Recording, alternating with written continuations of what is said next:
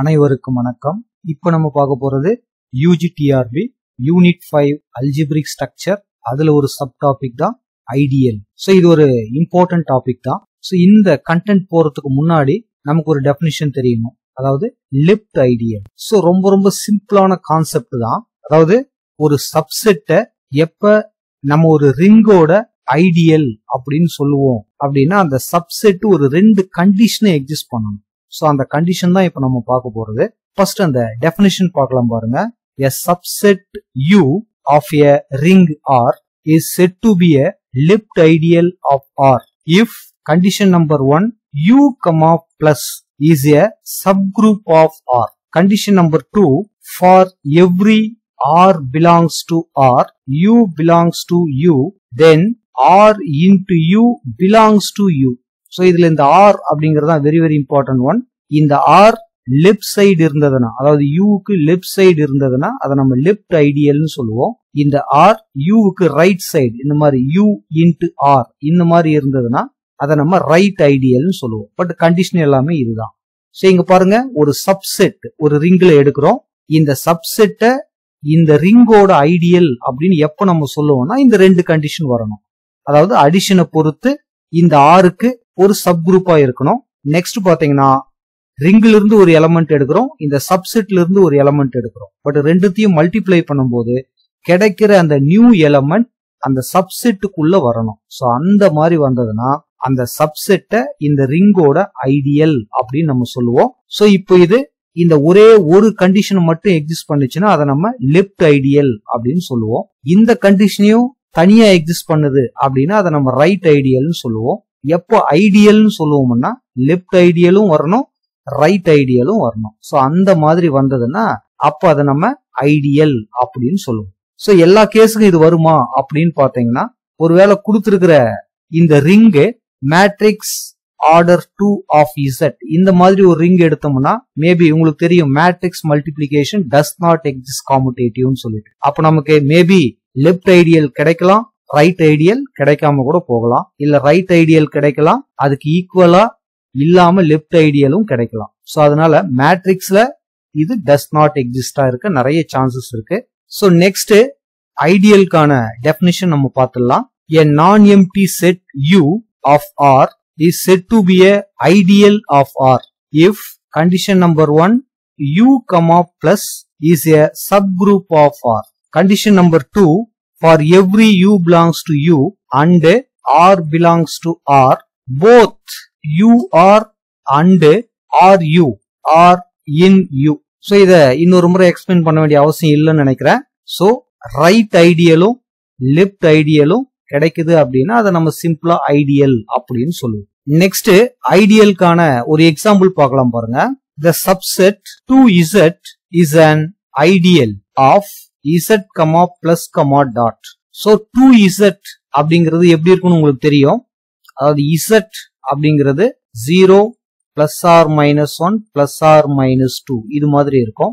Two Z அப்படிங்கிறது zero அதாவது டூவால மல்டிப்ளை பண்ணுவோம். பிளஸ் ஆர் மைனஸ் டூ வரும் பிளஸ் ஆர் மைனஸ் ஃபோர் வரும் எக்ஸெட்ரா ஈவன் இன்டீஜர்ஸா இருக்கும். ஸோ இந்த செட் ஆஃப் ஈவன் இன்டீஜர்ஸ் அப்படிங்கிறது இன்டீஜர் செட் ஃபார்ம் பண்ற இந்த ரிங்குக்கு ஐடியலா இருக்குமா? அப்படின்னா இந்த ரெண்டு கண்டிஷன் இருக்குதா அப்படிங்கறத நம்ம செக் பண்ண போறோம். ஃபர்ஸ்ட் பாத்தீங்கன்னா அடிஷனை பொறுத்து கண்டிப்பா டூ இசட் அப்படிங்கிறது இதோட சப் குரூப்பா தான் இருக்கும். So first condition two Z comma plus is a subgroup of Z comma plus so அடிஷனை பொறுத்து இதுவும் அந்த குரூப்புக்கு உண்டான எல்லா கண்டிஷனுமே எக்ஸிஸ்ட் பண்ணும். ரீசன் இதுல ஜீரோ இருக்கு. அதே மாதிரி பிளஸ் டூன்னு ஒன்று இருந்தா மைனஸ் டூன்னு ஒன்று இருக்கு. ஸோ ஐடென்டிட்டியும் வந்துடும் இன்வெர்ட்ஸும் வந்துடும் கண்டிப்பா இதோட சப் குரூப் தான். So condition number one over condition number two தான் வெரி வெரி இம்பார்ட்டன்ட் ஒன் நமக்கு. ஃபர்ஸ்ட் டூ இசட்ல இருந்து ஒரு எலமெண்ட் எடுக்கணும் அப்படின்னு சொல்லியிருக்கிறேன். டூ ஃபோர் சிக்ஸ் எதை வேணா எடுத்துக்கலாம். That is four belongs to two இசட்னு எடுத்துக்கலாம். நெக்ஸ்ட் கொடுத்துருக்கிற அந்த ரிங்ல இருந்து ஒரு எலமெண்ட் எடுக்கணும். ஒரு ஆட் நம்பரே கூட எடுக்கலாம். த்ரீ பிலாங்ஸ் டு இசட் அப்படின்னு எடுத்துக்கலாம். இது ரெண்டுத்தையும் நம்ம மல்டிப்ளை பண்ணும் போகுது. அதாவது ஃபோர் இன்ட்டு த்ரீன்னு போட்டாலும் த்ரீ இன்ட்டு ஃபோர் அப்படின்னு போட்டாலும் கிடைக்கிற அந்த new element belongs to two இசட்டா இருக்கணும். அதாவது நம்ம எடுத்துக்கிட்ட அந்த சப்செட்ல இருக்கணும். ஸோ இந்த டூ இசட்ல இந்த டுவெல் வருமா பாருங்க ஹண்ட்ரட் பர்சன்ட் கிடைக்கும். அப்ப நம்ம தைரியமா சொல்லலாம் டூ இசட் அப்படிங்கிறது கொடுத்திருக்கிற இந்த ரிங்குக்கு ஒரு ஐடியலா இருக்கும். அந்த மாதிரி நம்ம சொல்லலாம். சோ நெக்ஸ்ட் ஒரு இம்பார்ட்டன்ட் ரிசல்ட் என்னன்னு பாத்தீங்கன்னா in any ring R zero and R are ideals அதாவது எந்த ரிங்கா இருந்தாலும் செட் ஜீரோ அப்படிங்கறதும் அதே செட்டும் கண்டிப்பா அதே ரிங்குக்கு ஐடியலா இருக்கும். அப்படிங்கறதான் இந்த ரிசல்ட் இத வந்து நம்ம எப்படி சொல்லுவோம்னா இம்ப்ராப்பர் ஐடியல்ஸ் அப்படின்னு சொல்லுவோம். அதே மாதிரி டூ இசட் அப்படிங்கிறது Z comma plus comma dot அப்படிங்கிற ரிங்குக்கு ஐடியல் அப்படின்னு இப்ப நம்ம பார்த்தோம். டூ இசட் மட்டும் இல்ல இந்த டூ இருக்கிற இடத்துல என்ன எலமெண்ட் போட்டாலும் சரி that is M Z is an ideal of Z comma plus comma dot that is for all M greater than zero so இந்த எம்மோட பிளேஸ்ல எந்த பாசிட்டிவ் நம்பர் போட்டாலும் two Z three Z four Z எதை போட்டாலும் நமக்கு கிடைக்கிற அந்த செட்டு இந்த ரிங்குக்கு ஐடியலா தான் இருக்கும். ஸோ நாட் ஐடியலுக்கு ஒரு எக்ஸாம்பிள் ஒரு எக்ஸாம்பிள் பார்க்கலாம் பாருங்க. ஸோ நமக்கு தெரியும் Z comma plus comma dot is a subring of Q comma plus comma dot Z அப்படிங்கிற செட்டு கியூ அப்படிங்கிற செட்டுக்கு சப்செட் அப்படிங்கிறது நம்ம நிறைய முறை பார்த்திருக்கிறோம். அதே மாதிரி சப் ரிங் அப்படின்னா ரிங்கோட கண்டிஷன் யூஸ் பண்ணி பார்த்தோம்னா இந்த ரிங்கு இதோட சப் ரிங்குக்கான எல்லா கண்டிஷனும் எக்ஸிஸ்ட் பண்ணும். ஸோ இப்போ இந்த செட்டு இதோட ஐடியலா இருக்குமா அப்படின்னு பாத்தீங்கன்னா ஃபர்ஸ்ட் கண்டிஷன் ரெண்டுத்துக்குமே வரும். அதாவது Z comma plus is a subgroup of Q comma plus அதுல எந்த டவுட்டும் இல்ல. பட் செகண்ட் கண்டிஷன் நம்ம பார்த்திருக்கிறோம். எதை நம்ம ஐடியல் அப்படின்னு சொல்லணுமோ அதுல இருந்து ஒரு எலமெண்ட் எடுக்கலாம். இசட்ல இருந்து ஒரு எலமெண்ட் த்ரீ பிலாங்ஸ் டு இசட்னு எடுத்துக்கிட்டேன். அதே மாதிரி கியூல இருந்து ஏதாச்சும் ஒரு எலமெண்ட் இந்த மாதிரி கூட இருக்கு. One by five belongs to Q அப்படின்னு எடுத்துக்கிட்டோம். இப்போ இது ரெண்டுத்தையும் நம்ம மல்டிப்ளை பண்ணும்போது three into one by five அப்படின்னு எழுதினாலும் ஒன் பை ஃபைவ் இன்டூ த்ரீன்னு எழுதினாலும் கிடைக்க போற இந்த ஆன்சர் நம்ம எதை ஐடியல்னு சொல்லணுமோ அந்த செட்ல இருக்கணும். தட் இஸ் பிலாங்ஸ் டு இசட்னு இருக்கணும். But three by five does not belongs to Z அப்படின்னு உங்களுக்கு தெரியும். அப்ப கண்டிப்பா Z is not and ideal of Q அப்படின்னு சொல்லலாம். இதே மாதிரிதான் Q is not and ideal of R அப்படின்னு சொல்லலாம். ரீசன் கியூல ஒரு எலமெண்ட் இதே மாதிரி ஒன் பை த்ரீ எடுக்கிறீங்க.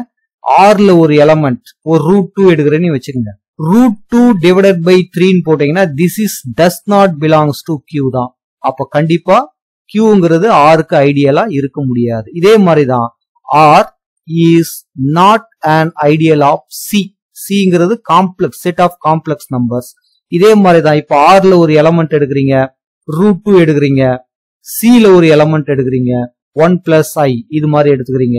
இப்ப இது ரெண்டுத்தையும் நம்ம மல்டிப்ளை பண்ணா வர அந்த நியூ எலமெண்ட் ஆர்ல இருக்கணும். ஸோ கண்டிப்பா அந்த மாதிரி இருக்காது does not belongs to R so இது எல்லாமே பேசிக்கான எக்ஸாம்பிள்ஸ் தான். Next some important results so first one if U and B are two ideals of a ring R then U plus B and U into V are ideals in R so யூவும் பியும் ஆரோட ஐடியலா இருக்கும்போது அதோட அடிஷனும் அதோட மல்டிபிளிகேஷனும் கண்டிப்பா ஐடியலா இருக்கும் அப்படிங்கறது தான் இந்த ரிசல்ட்டோட meaning so result number two if U is left ideal and B is right ideal of a ring R then U into V is a two sided ideal of R So இது ஒரு important result யூங்கிறது left ideal விங்கிறது right ideal So அதோட product எப்படி இருக்கும் அப்படின்னு பார்த்தீங்கன்னா அது ஒரு டூ சைடட் ஐடியலா கண்டிப்பா இருக்கும் அப்படிங்கறதா இந்த result.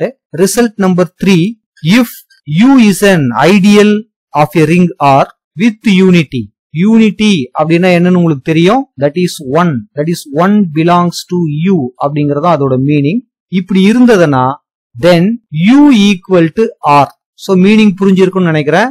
யூ அப்படிங்கிறது ஆரோட ஐடியலா இருக்கும்போது அந்த யூன்ற செட்டுக்குள்ள ஒன் அப்படிங்கிற எலமெண்ட் இருக்கும் அப்படின்னா கண்டிப்பா இந்த யூவும் ஆரும் ஈக்குவலா இருக்குமே தவிர்த்து வேற வேற இருக்க முடியாது அப்படிங்கறதான் இந்த result that is very very important one நல்லா பாத்துக்கங்க so next important result number four let F B any field then only ideals of F R zero and F itself so இதுக்கு உங்களுக்கு மீனிங் புரிஞ்சிருக்கும்.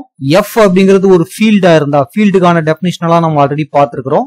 எஃப் அப்படிங்கிறது ஒரு ஃபீல்டா இருந்தா அதுக்கு ரெண்டே ரெண்டு ஐடியல் தான் பாசிபிள் ஒன்னு ஜீரோ இன்னொன்னு அதே செட்டு எஃப் சோ இதுல இருந்து இன்டைரக்ட் மீனிங் என்ன அப்படின்னு பாத்தீங்கன்னா இந்த எஃப் எஃப் அப்படிங்கிறது ஒரு ஃபீல்டா இருக்கும் அப்படின்னா அதுக்கு ப்ராப்பர் ஐடியல் அப்படின்னு ஒண்ணு கிடையாது அப்படிங்கறத நீங்க தெரிஞ்சுக்கணும். சோ இந்த வீடியோ உங்களுக்கு பிடிச்சிருந்தா லைக் பண்ணுங்க ஷேர் பண்ணுங்க சப்ஸ்கிரைப் பண்ணுங்க.